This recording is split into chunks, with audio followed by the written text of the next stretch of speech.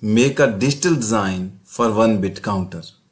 Now you have to fill this black box where the input is a clock signal and output is Q and this block is acting as a 1 bit counter.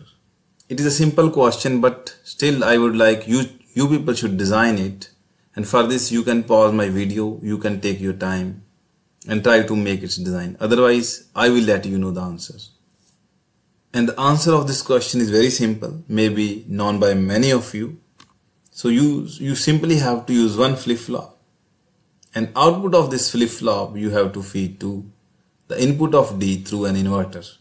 And with this, the output will keep on toggling 0, 1, 0, 1. And this is what is a 1 bit counter. Thanks for watching.